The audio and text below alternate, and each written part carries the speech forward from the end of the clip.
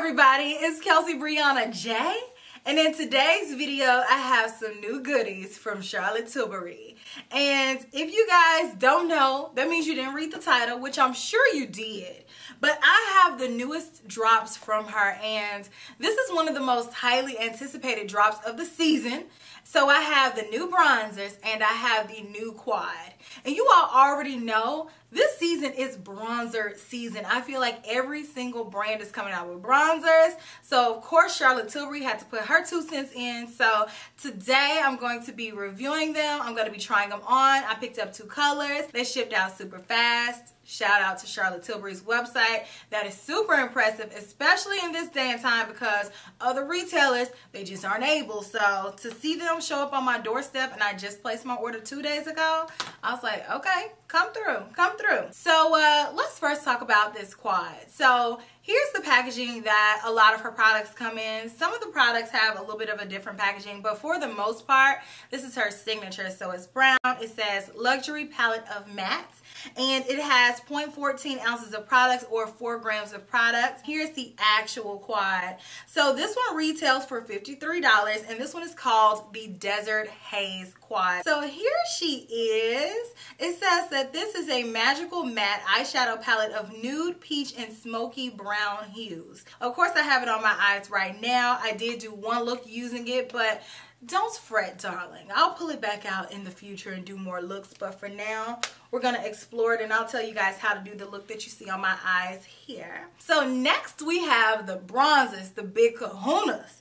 These things are massively big. So this retails for $55 and it has 16 grams of products. This thing is beautiful. Like look at this with this golden packaging. Charlotte Tilbury has given us this before. But this thing is, it's pretty big. 16 grams of products for a bronzer is a lot. And uh, here's what the inside looks like. So to give you some perspective on how big this bronzer is, here's her Glowgasm palette. Again, 15.2 grams of products across four different pans. So all four of these pans have less products than this bronzer has in it. I recently picked up her Airbrush Flawless Finish Powder and this one has 8 grams of products in it and here's the bronzer which has 16 so it is twice the size of the powder. So this bronzer retails for $55. It comes in four different shades. I have two of them. I have two medium and I have the shade 310. The other shade is number one and that one is called Fair and then the deepest shade is number four and that one is called Deep. So the description for these bronzers states, and I'm to summarize because there's a whole paragraph here. It says that these are a next generation matte innovation for that flawless summer feeling. It says these bronzers have hyaluronic acid infused smoothing, pore blurring effects in them. And it says that these shades were created to mimic the appearance of a sun-kissed bronzed contoured complexion. These powders were designed after her number one seller, her Airbrush Flawless Filter Powder. And it says that these have beautifying airbrush DNA and finest air, finely milled pigments to blur the appearance of pores and smooth over your skin to make you look and feel like the best, most beautiful version of yourself. Hey, I say that. I like that saying. So a few more notes about these bronzers before we jump into the demo. These bronzers don't have a smell to them, so if you're a person who has concerns about fragrances, there's none detected here, and they simply just don't smell like anything. So let's go ahead and jump into this demonstration. I'm going to show you guys how these products look. I'm going to start off with my eyes, and then of course I'm going to try on the bronzers. Stay tuned until the end and I will tell you guys my final thoughts about all of these products and uh, do a little bit of comparisons. So I hope that you all enjoy. So today I'm to do an all matte look and I am only using this quad. So I'm to start off as per usual with a blending brush. This one is the NARS number 42. I'm to take this bad boy right here. Actually, let me go back a step and prep my eyes. This one is Soft Ochre Paint Pot by MAC. Now let's bring it back here. So, I am, ooh, to take this in my crease and then fluff this up. Let's fluff it up. Mm-hmm. So back and forth. That was one little dip. So let me just continue to blend her out. But one little dip and I got that. So I'm not mad at it. Very nice blend, very effortless. Let me go ahead and do the other eye. Next, I'm going to take the same brush and I want this color to further define my crease. So I'm just going to, ooh, fluff that back and forth here. Keep it real tight in the crease. This brush is already fluffy anyway, so it's going to fluff some up, but pretty much I'm controlling where I'm going by not moving the brush too much, so I'm just going back and forth directly in the crease. And if you have smaller eyes, use a smaller brush because this brush is pretty fluffy. It can overwhelm and take over the area where you just applied the first color. But since y'all know I got some real estate going on, I could still go in with this fluffy brush and hit myself in the eye with it. Let's take it here and see what it does. Again, same brush, and I'm just gonna boop. Ooh, I like that. I just popped it on the outer corner and then I blended it over, but it just blended in and it melted. Now let me add a little some some on the lid. So I have my Rephr 02 flat shader brush and I'm gonna go into the lighter shade. Ooh, it picked up nicely on this brush. This one is a natural hair brush. Oh, I like that. I'm just gonna pack this on. Ooh, that's nice. I love a simple to use matte eyeshadow and this is giving it to me. Ooh, yes. I'm just going to pat that next to that outer corner color and then bring it up to the crease. If you need to go back into your blending brush, do so with no additional products so everything blends harmoniously. Sounds like it's about to rain outside. That's all right. We still gonna be bronzed on the inside like it's sunny. I actually decided I want to pop just a little bit of this right in the middle just to help that blend go. And I like that a lot. I'm just popping that right in the middle. I am feeling that. I'm to add some eyeliner to it. So I'm back. I love, love, love the way that my eye look has turned out, even though my eyes are being some little mm, annoying things and won't stop tearing up. But even despite that, like, I am feeling it. So let me go ahead and do the lower lash line with some eyeshadow. I'm not going to do too much just because my eyes are already on 10. So I'm going to keep it simple. Wayne Goss 07 and I'm just going to do a mixture of this right here. And I'm just going to take that across the lower lash line. Keep it tight. I'm not going to take it on the inner part just because I don't want to further irritate my eye. I'm just going to sweep it over there. So let's try on these bronzers. I think I want to go in with my Sonia G Face Pro. And I'm going to go in with 02 first. And I need to remove the hoops. Ooh. Okay, I'm just going to get a little bit, let's see what happens, you know. Ooh. Ooh. That is a nice natural bronzer. I just dipped back in one more time. I'm building it up. That is a nice natural bronze. It just blended into my face. Look at the side with no bronzer and look at the side with bronzer. I barely even had to blend this for it to look so effortlessly blended. I love that. This bronzer is definitely translating on the skin as silky as it feels in the pan and that is rare. That's nice. Get into that. Nice everyday bronzer. And I really didn't know if this color was really gonna work for me. I grabbed it just as a resource so you guys can see it but I was like it might be too light. I don't know but definitely I'm gonna layer it up just a little bit more. This is probably gonna be my new everyday bronzer. Mm hmm mm.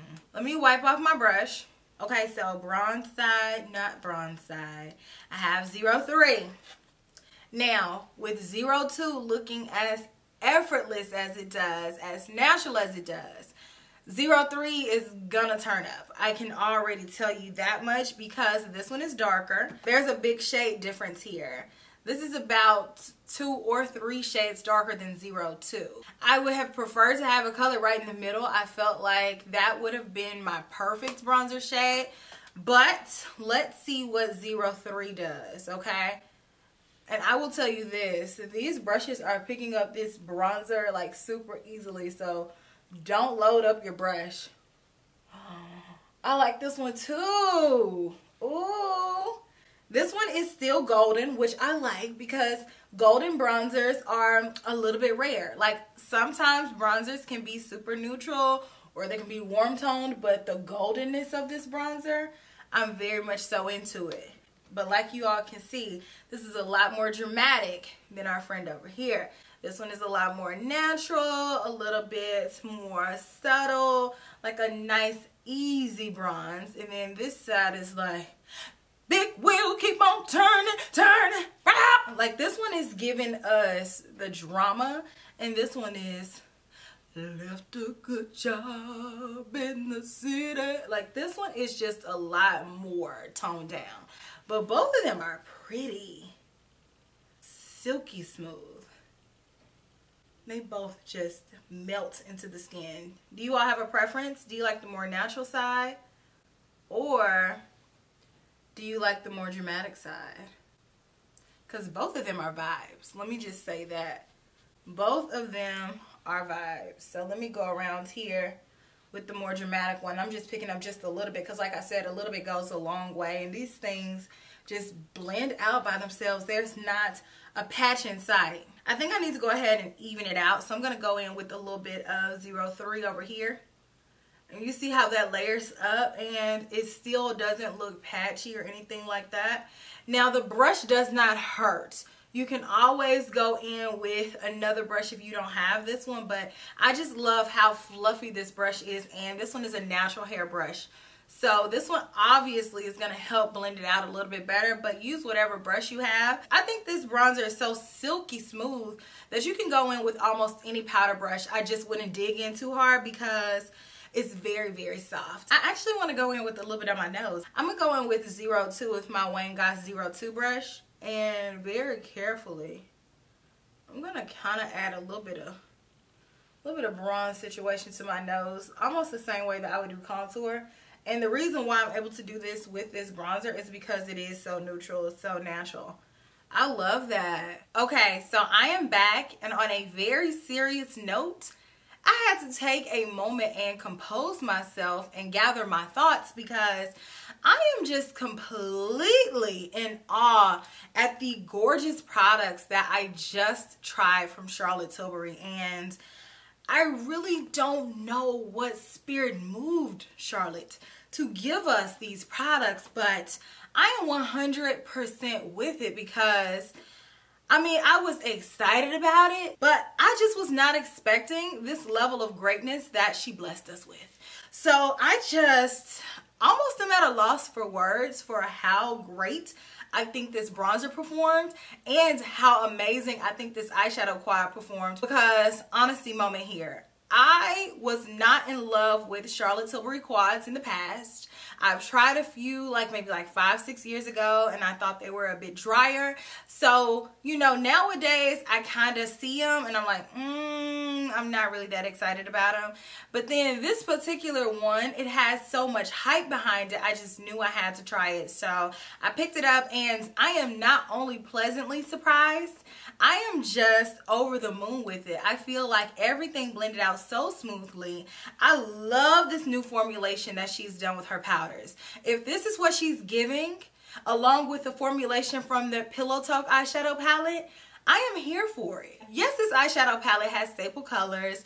Some people may say that they already have it, but the way that she turned up on this formula, honestly, if you haven't bought some neutrals in a while and you are looking for a simple neutral eyeshadow quad like this one, then I would look at this palette because it is super, super easy to use, very beautiful. And as a person who enjoys matte eyeshadows, but I don't always get very excited about them because I feel like I have a lot of my staples in my collection, this right here is a welcomed addition and I'm happy that I bought it. It's very nice. I would say that this can work for deep complexions. If you have a deeper complexion, say MAC NC50 or deeper, you probably are not going to be able to use the top two colors like in the crease, but you can use them on the lids. But this color right here, it gets pretty deep. And even if you have to reach outside to get one deeper shade, I mean, I think it's worth it for how easy these eyeshadows blend. I pulled a few other quads that I want to compare to this one just to give you an idea. Let's first talk about one of my other favorite matte neutral quads. Pretty much matte. This one does have a little bit of a shimmer to it in one of the shades because it unfortunately has become discontinued. But this is one of my favorite quads that has a basic color story, but it's something that I use all the time. And I just feel like this one is classic, but in comparison to the Charlotte Tilbury one, I would say these formulas are just really, really similar. And I have never thought Charlotte Tilbury's quad formula was similar to Tom Ford's. I still love my Cocoa Mirage more because it's more neutral and this one is more warm. But I mean, formulation wise, tit for tat but I think that both of these are gorgeous products. I also pulled out another classic palette to compare to this quad, and that one is the Viseart Neutral Mattes palette. Do you know how grand your eyeshadow formula has to be for me to pull this out to compare it to that? Like, do you know? she must have been doing something here. But I think this quad is similar to my Viseart eyeshadow neutral matte. And I think that there's colors here for me to be able to get the same vibe if I didn't want to get this. Here's your clay brown. Here's your clay brown. Here's a mid-tone brown. There's the mid-tone brown. And then this color right here, I would say it's right here. So if you have the Viseart Neutral Mattes palette, I wouldn't necessarily say you would need this one. And the last palette that I have to compare to this is the Natasha Denona Biba palette. And you all know I love this one. And I would say I think there are similarities here as far as the colors. But I think, I think my girl Charlotte's formula is outperforming the formula in here. That's doing something. That's all I have to say. This quad is really, really nice. I think that she did a great job on it and it's just easy peasy beautiful. I love it. And so let's talk about these bronzers because I think that these bronzers may have just replaced all of my other bronzers that I've been saying were my favorites in my collection. It glides on. It's so nice. It blended out so effortlessly and I love the way that it looks. You all know I have so many bronzers that I use on a consistent basis and I use my Guerlain bronzer all the time and I think these reminds me so much of that but these don't have a scent to them, so you don't have to worry about that if you're sensitive to that. I think these are smoother. Oh my gosh. It's like Charlotte Tilbury took all the elements that I loved about my Guerlain bronzer, about the Fenty bronzer, about my Tom Ford bronzer. I have the Silky Smooth there. I have the tone that I love. I have the blendability that I love, and she combined it in one bronzer. And this packaging is not too bad to look at either, right? This is absolutely gorgeous and is huge. There's 16 grams of product in here. My Guerlain bronzer has 10 grams of product. My Chanel bronzer has 12 12 grams of product. My Tom Ford has 21 grams of product. Tom Ford said, you're not gonna out bronzer me. this is a huge bronzer and I've never ran through any Tom Ford bronzer that I have and I have two. So